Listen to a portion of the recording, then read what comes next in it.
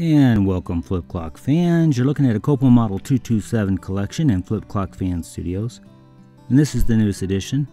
This black with the white face. I call this the Black Beauty. I've been wanting one of these for a while. It's got a formal look to it. It reminds me of a tuxedo. But as you can see here, it's got some significant issues. We're going to go over those together today and see if we can get this fixed. But let's take a closer look first. Copal Model 227. This particular clock was found on eBay and I got it for a good price. The seller said that the light works and the clock works when plugged in. So I would assume that the alarm does not work. We can see that the pictures were very upfront. There's some significant dirt here, possible damage, which is why I probably got it for a good deal.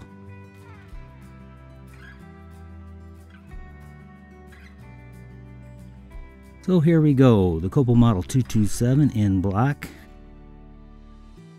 Again, I've always wanted one of these white faces. I wanted to find out more about them, see if they were painted or how they did that.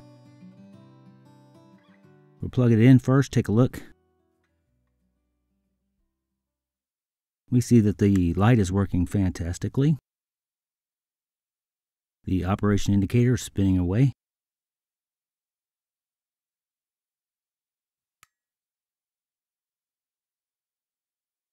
And we'll do a quick check the alarm here.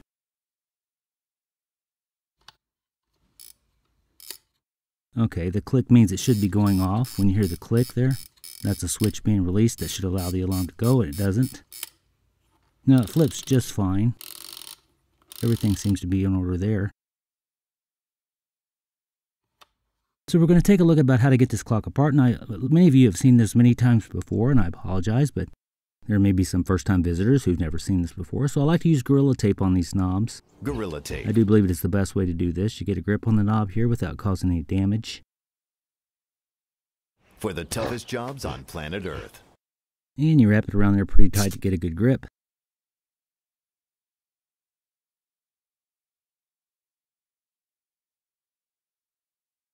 And just pull straight away. Comes off clean, no damage. That's the way to do it. Okay, so this, sometimes you have to use Gorilla Tape on that too, but that one came off very nicely. Remove the alarm button here. Just pull straight up.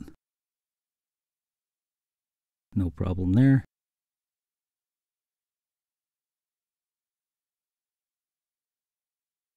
Alright, we're going to use a piece of tape to get the face off. Now the last time I did this was just actually just the last video.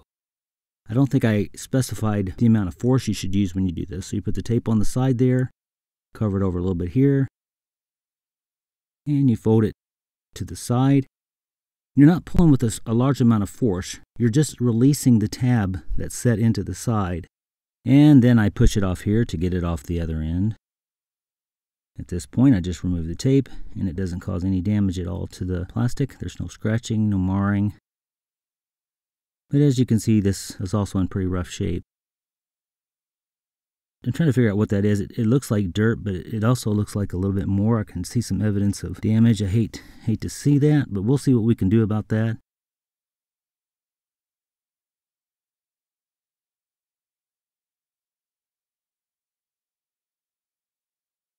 So to get it apart, as you all may know, you just take this one off here. That allows you to get the cover off. And to remove this, we're just going to put a little pressure with the thumb. Right where my left thumb is, I'm pushing down and then pulling away.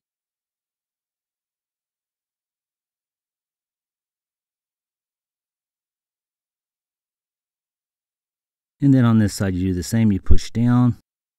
There's tabs that you're releasing there. I'm just working it out here. There's no rush you shouldn't have to force anything when you're doing this once you get it to this stage.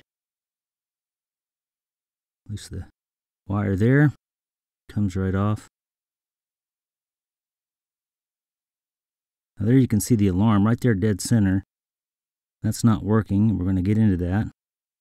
Now I've never worked on one of these alarms before, so we're going to try to figure that out here, see if I can figure out why it's not working.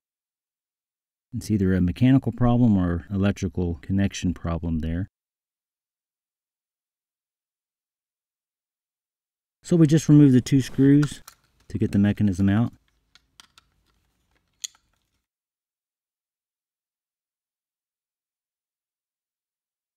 Gently pull it away. Now the first thing we see is these flip tiles seem to be in really good condition. And I've noticed that on the white ones, the tines don't dig in so much into the top of the tiles as with the black ones. Now the light's looking good, the motor's spinning freely. Really a dust-free clock on the inside there. And here's the front piece. That's what I've really been looking forward to to get one of these. And you can see they use some brown glue to secure that. But it fairly easily breaks away. I'm glad they didn't use the black glue. There's some horrid black glue that they use that actually fuses the plastic. This is just sticks the plastic.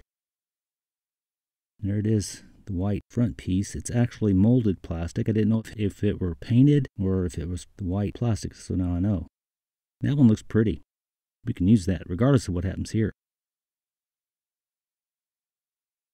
So these two pieces, we've got to work on these. And I'll show you how I do that. Got to go to my laboratory here. We're using Dawn dishwashing liquid and copious amounts of water. So you want to not introduce any scratches in this process and by using your hands only in soap and water, you're going to get it clean without causing any problems. I'm rinsing well here. I've washed it more than I show here, but I'm seeing issues.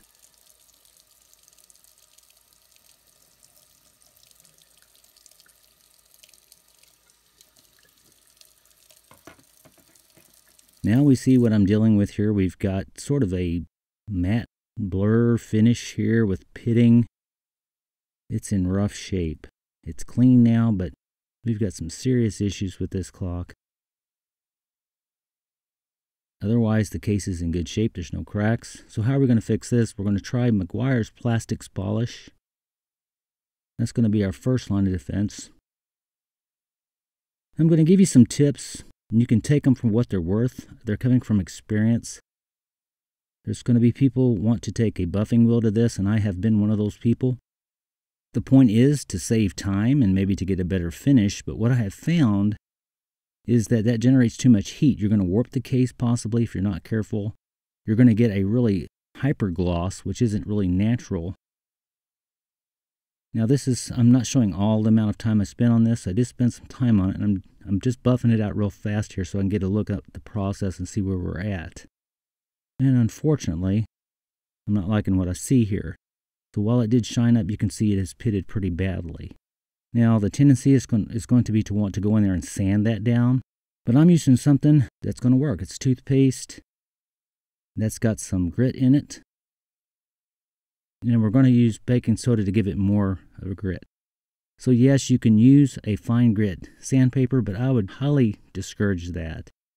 And that's from experience. And I'll tell you, you see how I'm holding that? I'm holding that loose because the tendency is going to want to be hold it real tight so you can get some aggressiveness on there and get the, those pits out of there. But that's going to fatigue that plastic and that will break. You wouldn't think it would, but it, it's done that on me before.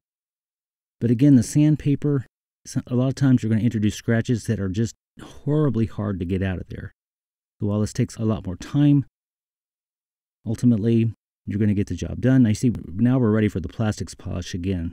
Now that we've got most of the pitting out of there, we've got it down pretty good. Let's turn our attention back to the mechanism here because we're going to want to get this alarm working. Why? I don't know. They're awful, terrible alarms. But we're going to get it working. So what I've done is I've taken this back plate off of this alarm here to take a look at how this is constructed. It's very simple. This little metal plate here with little spring arms is going to vibrate against that metal.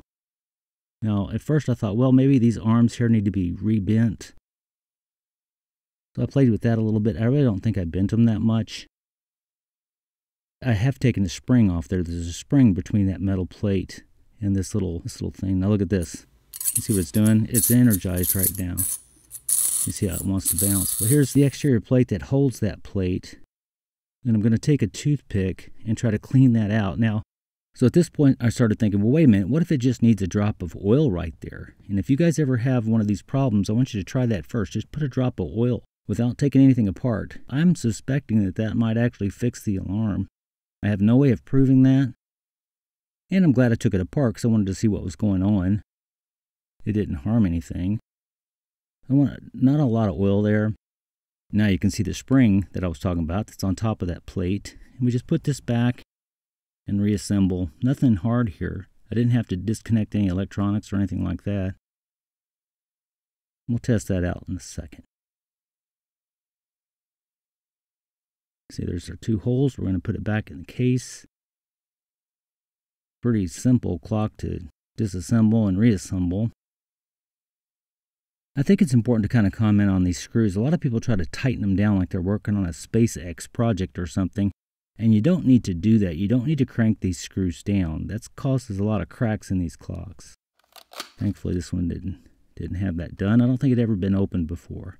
That's the way I like them. So we're getting her back together. I put a little drop of oil on this one here because it's metal on metal, that metal clip. That way it'll come off easier in the future. And our alarm button just pushes back down and all that's left is we need to put the screw in there to hold the case in. It doesn't really need that screw. Keeps kids out, I guess. We'll take a look here, test this alarm. Working great. Flipping fine. And there it is. Copal Model 227 in black with a white face. My formal looking clock. It's not perfect, but it's presentable. And that's the way I want to keep it. We can work on it more later if we want to, but I like it. Fits right in. Except for some of you. I know it's bothering you. So we'll fix it.